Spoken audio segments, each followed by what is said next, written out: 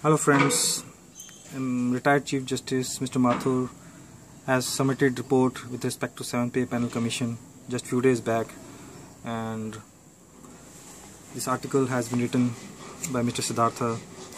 I will appreciate his article and the article says from flab to fab government must grab the 7th pay panel opportunity to hire specialists and fire pointless departments. Siddhartha says that many of the government departments are overstaffed and many are simply serving tea or adjusting the temperature of the air conditioner. He's just uh, taking it on the lighter side and tries to emphasize that those departments which are overstaffed, such staff should be transferred and deputed in areas where it is really required and he says you need people the most in schools, hospitals, police stations and courts. He emphasizes that we need to concentrate on education, health, home ministry and the Ministry of Justice, Judiciary. He adds that uh, 7th Pay Commission has given a wonderful opportunity in the hands of the Modi government and this can kickstart the restructuring process. As we know, Modi has always been saying minimum government and maximum governance. I'll talk about this quote of Mr. Modi later as Mr. Siddhartha had written well researched about minimum government and maximum governance later in his article.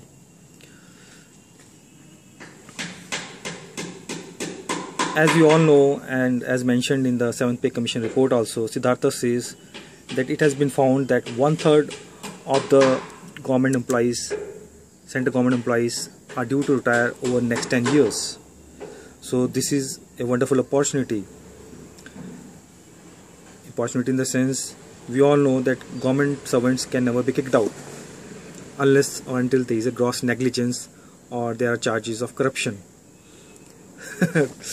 to be on the lighter side, we all know that many times people are suspended, but out of 100 those are suspended, very few are terminated. So the conviction rate among those central government employees who are suspended is very less. So uh, let us come to the main article only. He says that it's really a great time to restructure the government, the bureaucracy. The Seventh Pay Commission, Mr. Mathur, as was submitted lay more emphasis on hiring the specialist instead of the general staff. He further adds that in present era of liberalization, privatization, globalization, the size of the government really doesn't matter. It is the right composition that matters the most. So that means the core policy making people that matters the most.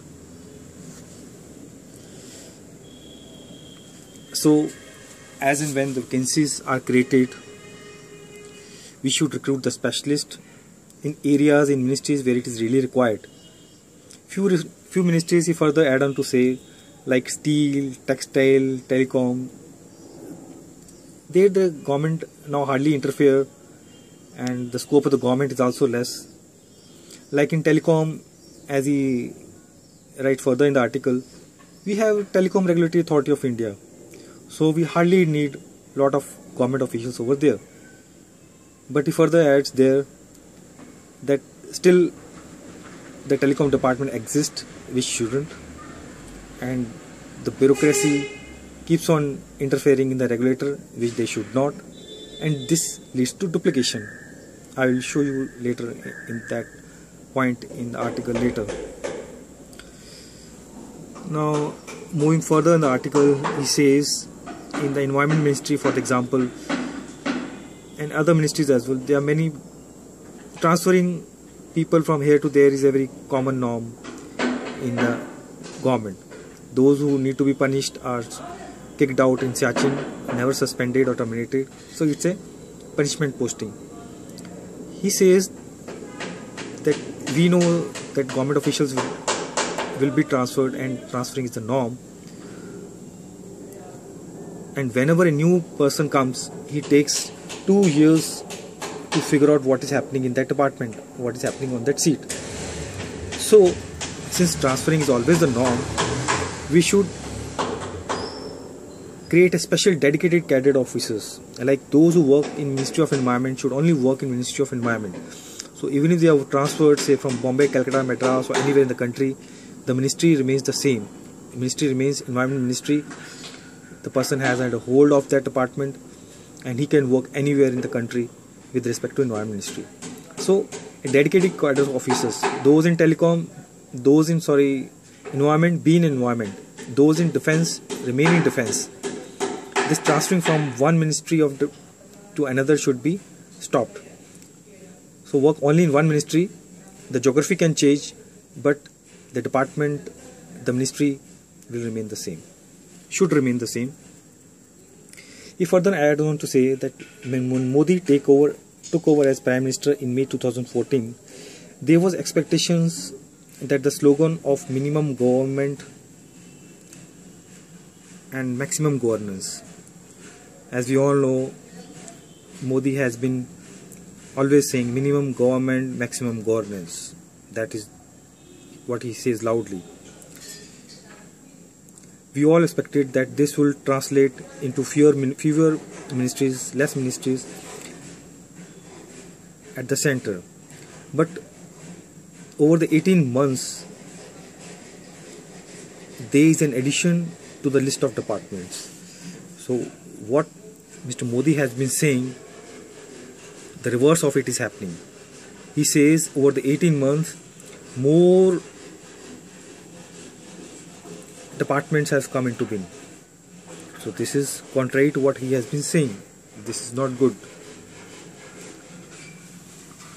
Now he further says that since liberalization the turf of war has moved beyond ministries to include regulatory agencies. While several regulators have come up in the last 24, hour, 24 years, most of the government departments are still going strong. So there is duplication of work, there is more manpower than you need in that sector. It is time to wind up such departments such as the telecom. After all, India is one of the few countries that still has a telecom department. As I earlier said, since we have Telecom Regulatory Authority of India, there is no need to have telecom ministry why there is a duplication? So telecom ministry should be winded up and just reduced to to the level of minister only where he can just see how the regulator is functioning. That's all. He further says that the specialist for some specialized jobs must be hired. Now this is an era of specialization he further says that the government has already made a beginning with the banking sector where at least one private sector executive has been hired to run a public sector bank. So this we have seen uh, even i read in many articles that uh, since a lot of public sector banks a lot of government banks have, are having a lot of high npas that is non uh, uh, that is non-performing assets. The non-performing assets are the bad debts of the banks, like Kingfisher, many industrialists. They take loans, then they are not able to pay. Those bad loans are the NPAs. So we have seen that many public sector banks have a lot of high NPAs as compared to the private sector banks. So the government has hired private sector executives in the boards of the public sector banks so that the public sector banks can perform as good as the private sector banks. He further add on to say that again the banking sector experiment has shown that the private sector bank doesn't always chase a fat pay packet to take a public sector job. The challenge to deal with the things on a much bigger scale creates an adrenaline rush for many. Now I'll tell what he wants to say. He wants to say, I read an article on this also earlier. It has been found that those private sector executives who have been hired for the public sector banks, government banks, are not working in at a very high package as we always anticipate. We all know in private sector banks the CEOs are earning huge salaries as compared to government banks. So we might all think that if you hire private sector executives for government banks, they will ask for higher money. But so has not been the case.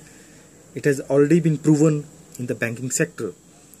Many private sector executives have joined public sector banks, government banks at the rates reasonably offered by the government and they have taken up the job. So the government is at an advantage. The government doesn't have to offer so high salaries to private sector executives to monitor the public sector banks.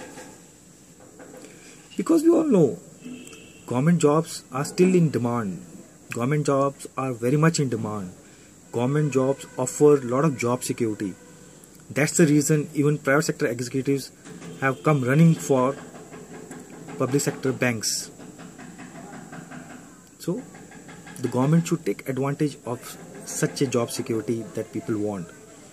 Private sector people will come rushing to the government because everybody wants job security. Job security is the USP of the government banks, government jobs. He says that at the same time, government needs to respect the legitimate aspiration of all its employees in giving them an opportunity to rise to the top. It's a strange situation where a revenue service officer cannot imagine retiring as revenue secretary or an audit and account service officer doesn't become comptroller and auditor general. Now this is a very pity situation. Even I read in various newspapers where IRS, IPS people have complained widely in media, in the public and to the government. They never get equal opportunity as compared to IAS officers the IAS lobby has become strong over the years. So seventh pay commission has taken care of I've heard and uh, they have given equal pay parity and uh, even I as a doctor feel that really a person from the revenue department so he has rightly said I appreciate his article and uh, to tell you all this article has been taken from Times of India and uh, has been published on November 23rd, Monday, Delhi edition 2015. Thank you all for giving a wonderful listening. Let's pray that the government is restructured and we all are served better by the government of India. Thank you.